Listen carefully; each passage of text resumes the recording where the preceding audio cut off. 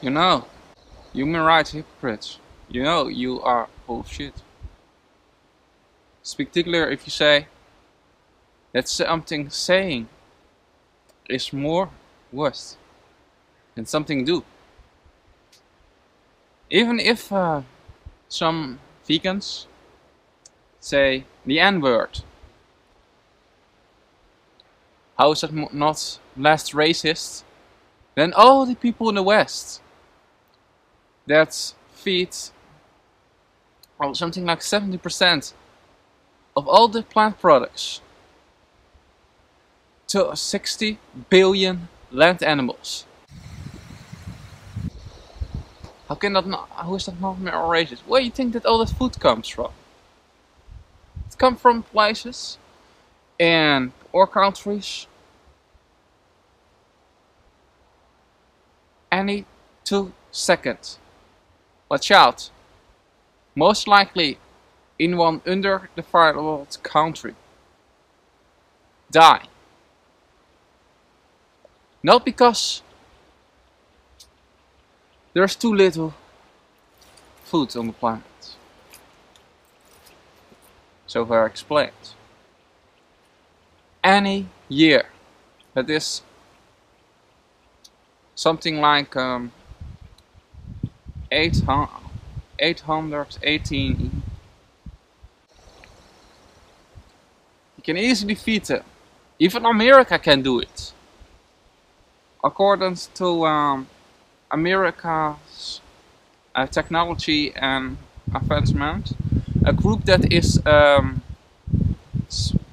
inside its and in bed with uh, animal agriculture can say that even America can feed 10 billion humans.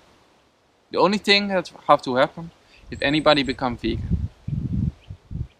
So, and America is also one of the is also the country that put bombs in other countries. Other countries that have less that have been less involved than them uh, in technological advancement have no uh, have no oh, air defense force them to make bombs indirectly because we steal all their resources. That's how the capitalism system works.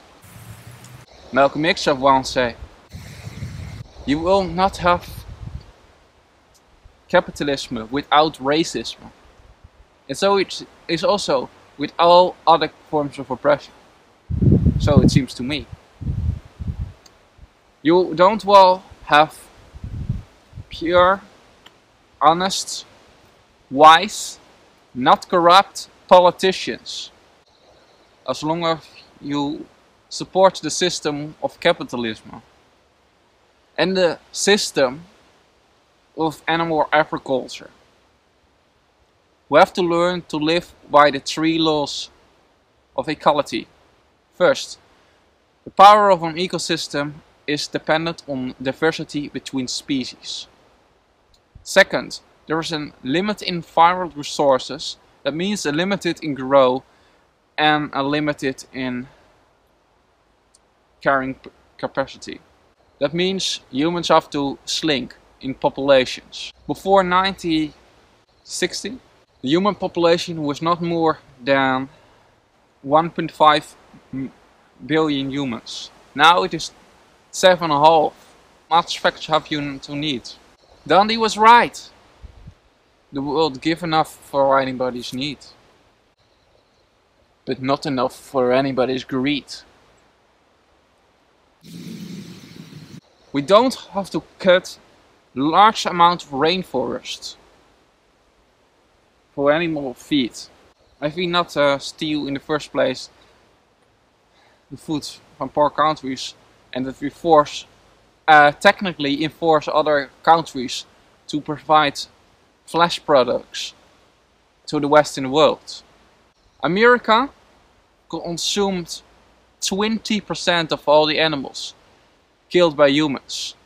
The human the population of uh, homini in America only is around something like 5% of the world population.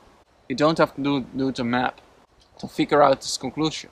That if you are a meat, dairy, egg eater, you'll be indirectly a classist if you've been black, and a racist if you've been white.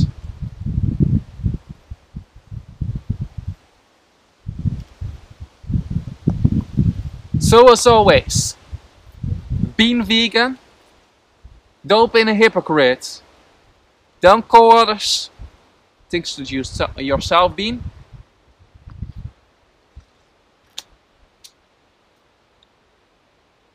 Veganism, carnism is not only evil to the animals that it enslaved, to the environment, but also to other humans in poor countries.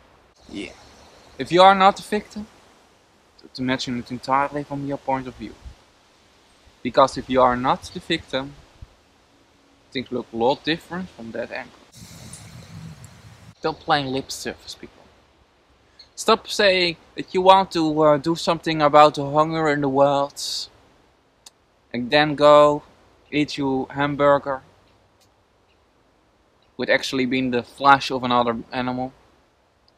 And then indirectly, just like the kings and queens of the Middle Age, that when they're being in one place, um, poverty, uh, still want to eat their steaks, and buffaloes, and deers, and all the other animals, instead that they want to feed it to uh, people that die, that feed.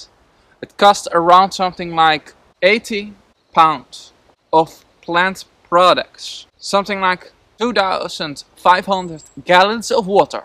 Around 80 kilograms CO2 in the form of methane and 5.5 acre feet of rainforest. So do the map. Be careful for throwing stones in somebody else's glass house.